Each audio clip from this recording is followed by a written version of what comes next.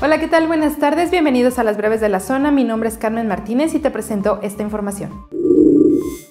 A pesar de que la protesta en la Universidad de Guanajuato culminó tras la firma del pliego petitorio, en León la comunidad universitaria continuará sus manifestaciones y el paro de actividades sigue hasta que las autoridades de León lleguen a un acuerdo y brinden solución a sus problemáticas.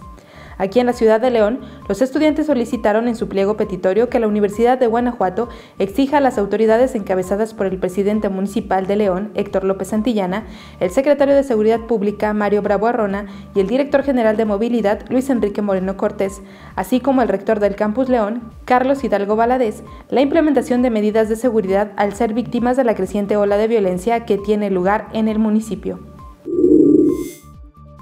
La madrugada de este martes, una pareja de policías fue plagiada en la colonia Villas de San Cayetano, en Irapuato. De acuerdo a información preliminar, el hijo de estos también habría sido privado de su libertad. Eran cerca de la 1.30 de la madrugada cuando sujetos fuertemente armados ingresaron al domicilio del matrimonio para después llevárselos a la fuerza. Al lugar arribaron elementos de seguridad pública, sin embargo, ya no había nadie en el domicilio.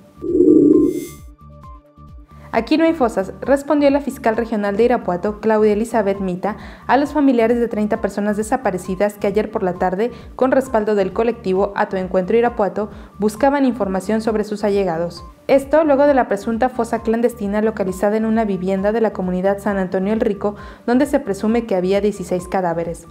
A pesar de que el fiscal general Carlos Amarripa confirmó el hallazgo, en la Fiscalía Regional B no se reconoció que había varios cuerpos, sino solo algunos, y que de hecho estaban trabajando en el tema. Quédate pendiente de todo nuestro contenido en zonafranca.mx y no te olvides de seguirnos en nuestras redes sociales. Más tarde ve el siguiente bloque informativo presentado por Vania Jaramillo.